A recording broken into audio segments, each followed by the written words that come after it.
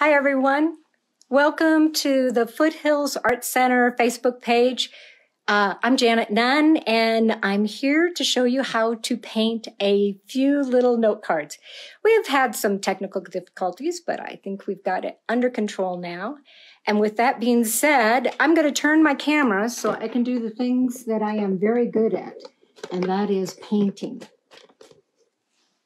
So today, we are going to paint Bingo. A few little note cards. And I say note cards, but on some of these, I just did a small piece of paper. And I wanted to keep the things small because you can have these around the house and uh, you can locate a lot of the supplies that you'll need.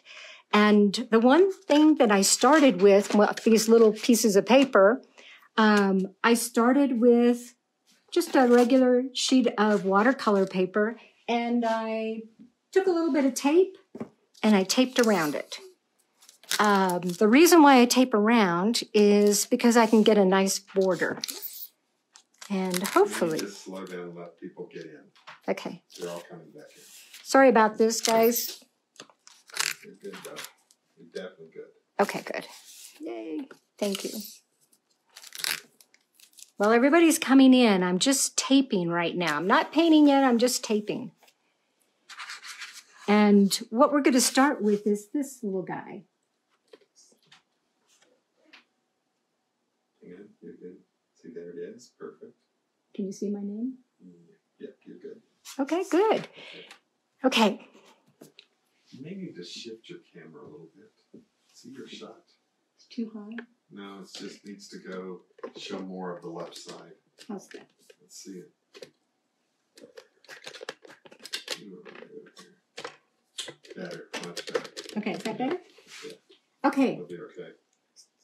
Yeah, much better. so what we're going to start with are a few of these little cards now that we're kind of going.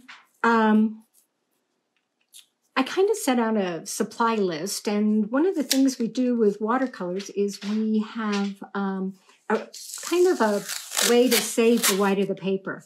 A lot of times you use mask and stuff like this, but we're using masking tape. And we're going to make these wonderful trees, is how we're going to start. So, with that being said, I'm not going to put the whole masking tape down. I'm just going to tear and get little tree shapes. And one of the things I want to do is just get a few trees down there. That's kind of a nice skinny one. And this is a little bit fatter. But this is the make ready part of doing some of these little pieces. And they're perfect when we're contained like this because you it doesn't take very long for you to do them and a lot of these supplies you might have around the house. Okay here's my here's my last tree here. He's kind of cute. So once i get all of my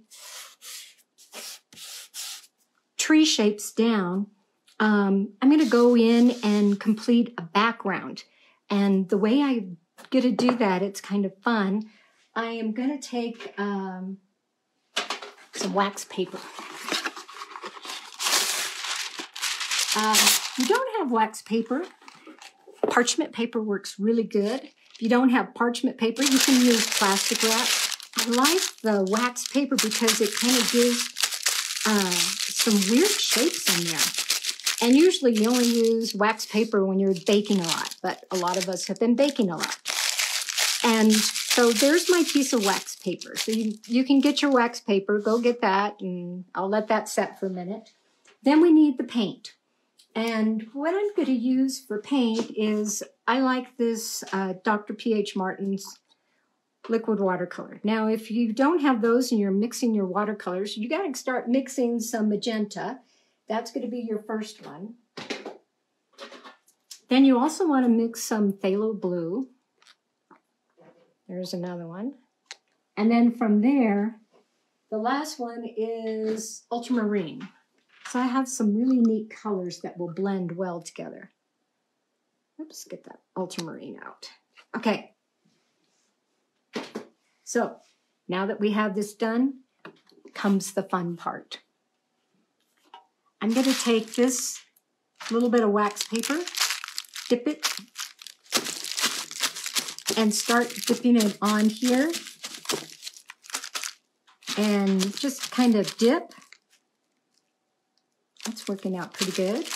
And then I'm going to have these little splotches. But one of the things that's going to help me make these splotches uh, add dimension is I'm going to add a little bit of water. Now, if you don't have a mister like this, this is an olive oil mister, you can take a little thing of water, put your hand in it, and you can make your own mister like that, which is kind of fun. You're going to get these blobs of water, and then you're going to get some blobs of paint. And that's what we want because water is the catalyst for watercolors. It just makes everything work good. So now I have some water on there. I had some dry on there, and I am just creating this wonderful, beautiful background. So there we go. That was easy. Didn't take very long. I love it. So, oops. Just going to take a tissue and clear off some of my taped edges that we've done. And I have a few little blobs of water because I have an angle on my uh, table here. And then the next thing I'm going to do is I'm going to remove the tape that we had as a resist. So here we go. And all of a sudden, that beautiful background that was all over the paper just went to the back of the page. I love that when that happens.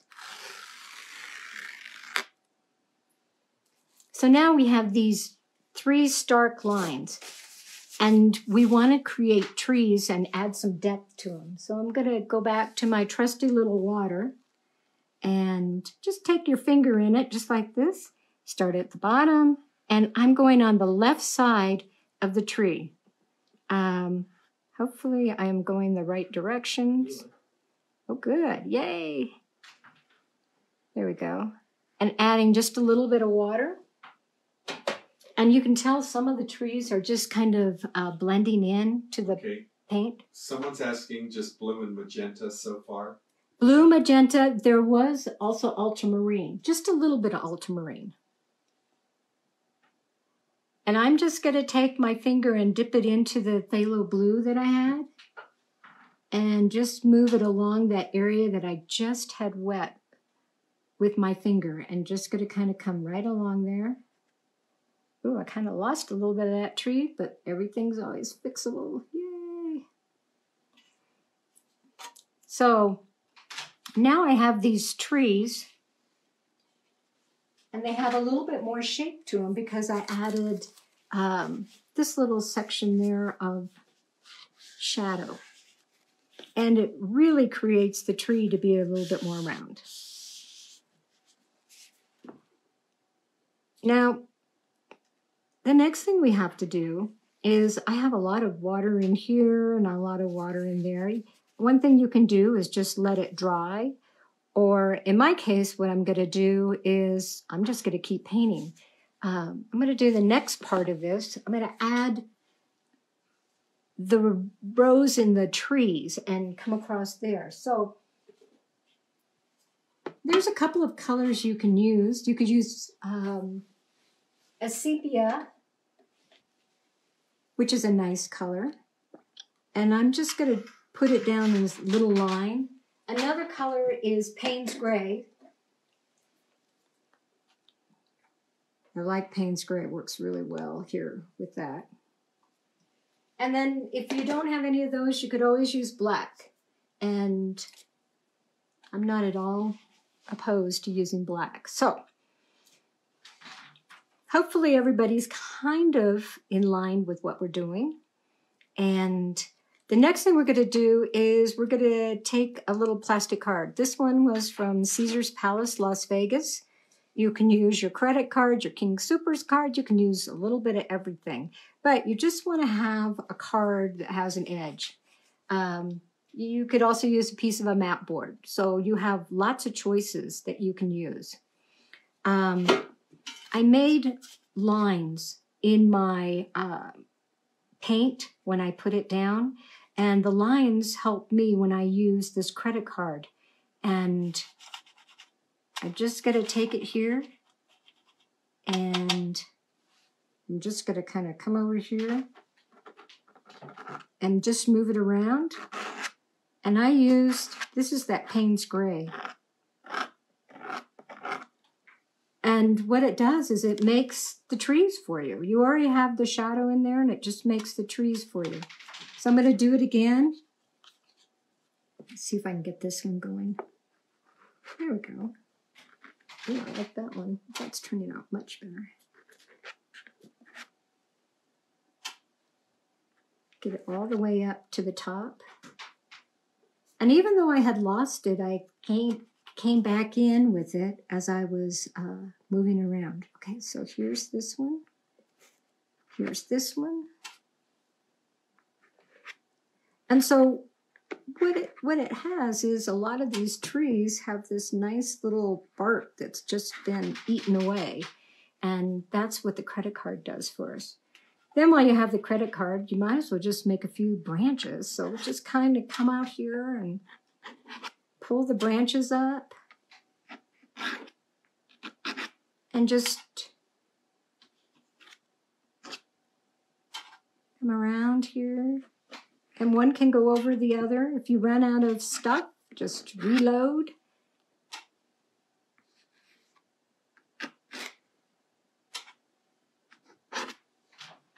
And mine's still pretty wet, but I do have kind of a nice painting. So the other thing I want to do is just, it's still a little wet, but with each one of these paintings, I'm going to try to at least finish them off before starting on the next one. And so I'm going to take off this tape that I had put on there, just like that. And here we go.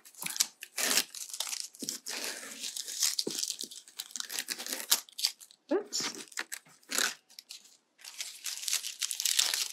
And once I take off the tape, I want to just put a little edge around it because right now it's kind of hard to go to the frame store and frame these. But what we can do is make our own frames with what we have. I just took a regular ruler and a little Sharpie. And I'm going to go around the edge of my painting and frame it all the way around. It's still really, really wet. If you want to do this, you might want to wait till it dries a little bit, but I'm just going to make a little frame for this. Keep coming around and moving it around.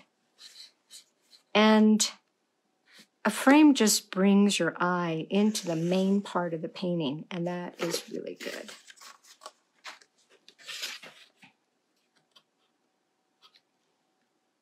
We're cooking now. I love this. So, framed it around. It brings your eye into it. Then go ahead and sign it.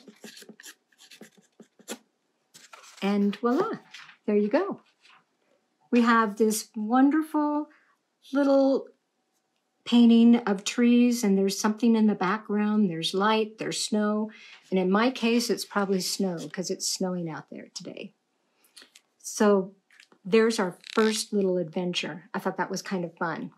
Now, um, Clean that up up top. pardon? You got too much clutter. Okay. Okay, now.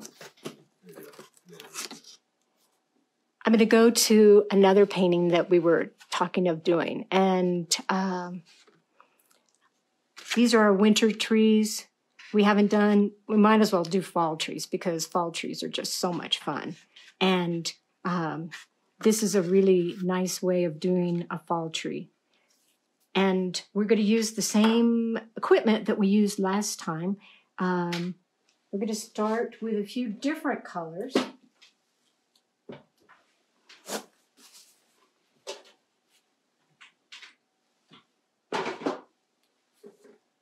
This time I'm going to use some Hansa Yellow Light.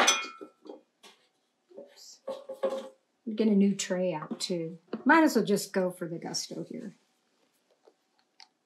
This is going to be that nice light area in our fall colors. Pay attention here. Pardon? Look here, you can see what they're seeing. There you go. Good. Oh, okay. Good.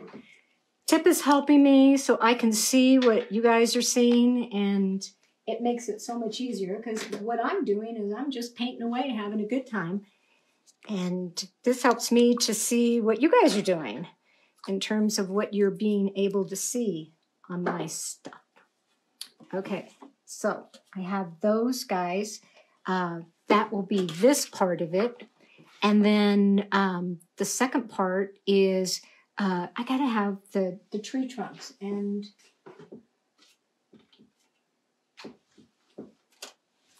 I'm gonna go back to this line that I had of Payne's Gray or Sepia that I used in the last lesson. And I'm gonna use that too. So to start with, this is what I'm gonna do. I'm gonna take another piece of wax paper. Have lots of The spray is the whole thing. Okay, There it is. and we don't need the ruler. Okay, so I'm gonna use this one up and down. I don't need that. And let me just move everything around that I don't need. And so I'm taking and scrunching up this guy and coming here. There's my lightest part of the tree. There's my darker part of the tree right there. The foliage I'm talking about, and maybe there's the lighter one. So now I take my water mister and just mist.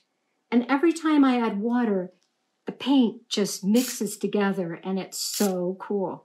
All of a sudden, I have this wonderful foliage. It's just going all over the place, which is really good. There. Now, I need the tree trunks. Can't forget the tree trunks.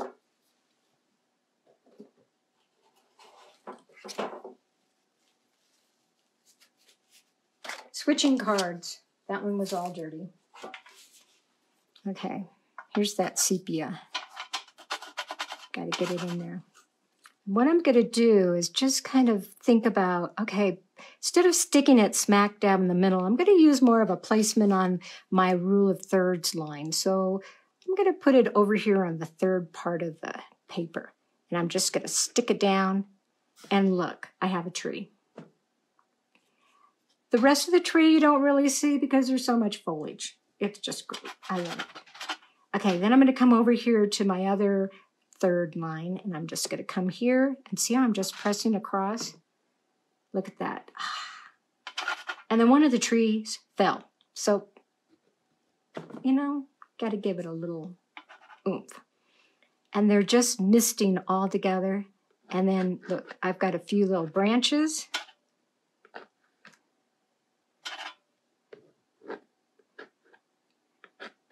That I'm using with the edge of the card. And here, come get that, get that guy all the way down there. And there. Oh, I also meant to say, if you're going live on uh, Facebook, you can you go into the comment section if you have some questions and stuff while I'm uh, doing some of these lessons, and you can ask me a few questions. Now, I just love the way this is just all mixing. It's just going very nicely. And I didn't have to do too much. A lot of people, um, this would be perfect to send someone a card later on. And uh, you're making all your cards now. I mean, why not make all these cards you're going to need for the rest of the year? So here's your fall card. We've done the winter card. And we'll do kind of a summer card too of some trees. But I love the way this just mixes. It just really works together. And like I said before, even though it's wet, I want to finish off um, these cards so that you have a chance to see what it looks like when it has a frame around it. So this is really wet. I'm going to have to be very careful here. And I think I got it. I'm just, I'm just going to kind of really go around the edge. And every time I get to the tree, I'm going to stop my pen and then start it and stop it and start it till I get to the edge. And that grounds the trees. Look at that. All of a sudden, the trees just look, oh, wow, they're just doing good. And then I'm really wet on the edge, so I'm just going to come to the edge of this without getting it into the image. Come right over here. Oh, yeah. Edge it again. Hopefully you guys are able to do some of this stuff and I'm not going too terribly fast. But even if not, you know, if you're done watching all your TV programs, you don't have anything to do, break out the paints. This is fun stuff. Get a whole assembly line going. You can make a gazillion cards. We have Easter coming up. We have Mother's Day coming up. Uh, you have, you know, Fourth of July. You got lots of stuff coming up. You might need a card to send. There. And with that being said, sign your name, and voila. what the wax paper does when it mixes with the water, it gives you that airy space. So it looks like you're looking into the leaves and the tree leaves, which is really nice. Okay, now um, I'm going to move this guy aside and I'm going to come to our last one. How does that one look? I might have to. Right there, yeah. Up and down, you're there. Am I there? Yeah. There you go. Or I can move it closer. No, leave it right where you are. Okay, good. Okay. We're going to, um, this third one um, that we're using, I thought it would be really nice if um, we had some greenery in there. But this time I'm going to change it up just a little bit. Okay, here we go. I'm getting too close to it. It needs to be out here. Um, this one I'm going to change up a little bit. I told everybody if they had a basting brush, that we are going to use that. The basting brush is the best tool for a painter because it is washable. And if you need to use it for mask, you can use it for mask, but it makes great foliage. You'd be surprised how nice the foliage is. So that's what we're going to use in this next one uh, to create some of that foliage. So I have my piece of paper right there.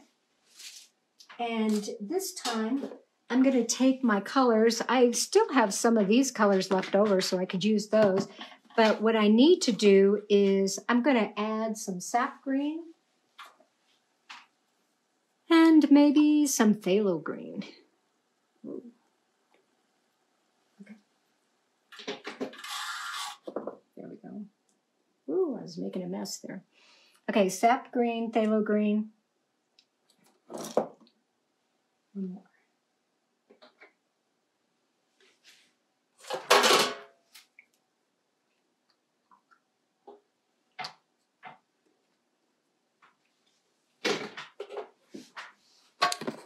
Um, I put a little water on this brush just to kind of get it going. And I'm basting. This is the most fun you're going to have all day. It's just, it kind of, how can you not smile when you're basting? You can get these brushes at the grocery store, the dollar store, wherever. They're just so fun to do. Here we go. So I've got my light, my medium, my dark in there, but now I'm going to add my green because, you know, we're going to have some green in there. And the green mixes with all these colors and you get all this other stuff happening. So now I'm going to take a little bit of my water and mist it. I love that. And then I've got I've got to miss I got to baste some more. You're gonna have so much fun basting. You're not yeah. It's just gonna be really nice. So I've got a few trees that maybe their branches came out to the top. And notice how you just kind of move the brush sideways and this way. And if you need a little bit more water, there. I love it. Yay! When it works, it works. And when it doesn't, it doesn't. Okay, so this time I'm going to add some tree trunks to these wonderful green trees. Just like we did before. Uh, looks like I still have a little bit of this Payne's Gray. So you kind of just scrunch it in there. And I'm going to do a few tree trunks. And sometimes they're straight and sometimes they're sideways. And that's pretty even. Let's make this one a little fatter then. And then I'll put another one here. I always like to try to get at least an odd number. That's four right there. And maybe I'll make five over here. Bring that down. And then guess what? They need a few branches that go into the trees. And I love the way that's just working together. It's working really, really nice. Let me get some more of that tree trunk down there. You can always go back and just add a little bit more. And the way the water and the paint is going, it's just all blending together. It's working out really, really well. Okay, so today we've done a few of these, but really the difference between the basting brush and the wax paper is not that much. But with the basting brush, you can be a little bit more uh, controlled. Some people, when they're painting with watercolor, like to be controlled. Others, we don't care. But the basting brush offers a lot of fun things. Foliage, it makes lots of great um, grasses. Oh, just lots and lots and stuff. So here we go again. We want to finish that off. Oh, and look at that. See the blending of the colors? They're just going together so nicely.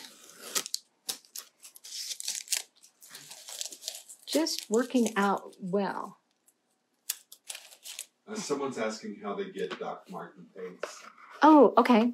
Um, I did give out, um, there was kind of a sheet that I had that had the supplies, but um, you can also go to their website, docmartins.com, and you can buy the paints there. They also carry them at uh, a lot of the art stores. I think Meiningers carries them uh, if you're here in town, and um, some of the other art stores do carry them, but it's probably easier just to go online because we're not going to any of the stores right now, are we? Good question. Now, um, I want to finish that one off too. Go here. I got to make sure. If I can get my ruler through there without making a mess, I can do it. So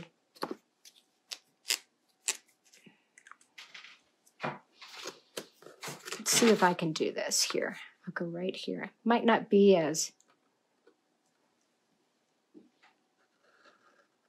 good as I thought I was going to get, but there we go. And every time you stop and start, now, oh, it didn't work. I got to make sure I've got juice. That's the other thing. You can always make sure that you have juice in your Sharpies. Let's try this again. You need another one? No, I think I think this one will, I think this one will work. Okay, here we go. I just used it. You know, the Sharpies do run out of juice here and there. Here. I love the way that works. And then I'm just going to go right around the edge again. This time I'm going to leave just a little bit more edging to it. Um, you can just enjoy doing a lot of these things from home. You know, one of the things that we're going to do is at the Foothills Art Center, we're going to go and do some online classes. We're going to try that. Um, I think I have one on Tuesday at one o'clock. She's got a note at the bottom here with all that. Oh, good. There's a link there. Anna put a note there. Yay, I love that. Okay, so you can go to the bottom and look and see what's going on at the Foothills Art Center. And there you have another set of trees. Now, in my lesson, I hope you guys all got the lesson because I always like to have lessons because if you forget and I'm not there for you, then you have a lesson that will help you along. Um, I showed you pretty much how to do the first set of trees that we did. Oh, that dried nicely that one. And you kind of have the steps broken out for you, which is really good. And then this one I used with the basting brush, and you can see how the steps go for that. And that way you can remember, oh, what did we do? How did we do this? And um, so what we've done today is we've done trees. We've done summer, and we've done fall, and winter. I have a whole bunch back here too, and the lesson. And hopefully, this is kind of fun. It is snowing out at my house, so this is just a wonderful thing to do. And if you wanted last week's, I think we have that online too. You can check out some of the stuff we did with plastic wrap. There's always a lot of fun ways to paint that make it so much easier for all of us. And these are just fun ways of um, expressing yourself and that you can share by giving it to others if you make cards like this one or just putting them around your house. I know Sherry, when I saw her house, she had them all up in her bookshelf and it really made me happy. So hopefully these will make you happy and you have homework because I only showed you three and I said there were six. So you have three more that you can do. And I hope this was fun. And oh wait, we have a couple questions. Je- Jessica's asking which color of watercolors would be best to buy for beginners. Which color of water? Which set yeah. of watercolors? Yeah, for beginners. Yeah. Oh, yeah, you could get set one. It comes, yeah, set one. It's easy. Has twelve colors in it, and um, it has. You can mix everything with it, and and even if you're starting out, uh, it's just a great way of expressing yourself and not having to spend a lot of time doing it. I hope that answers your question. Any other questions before we go? We're good. Okay. Well, thank you guys. I hope you um, go to the Foothills Art Center. Their website is foothillsartcenter.org. And they have oodles of cool stuff that are happening when we are not uh, in containment, but they are also starting to add some fun things when we are in containment. So um, go look and see what's going on there. And I hope this was fun. And I hope we get to do it again. Thank you so much. And we will do this another time.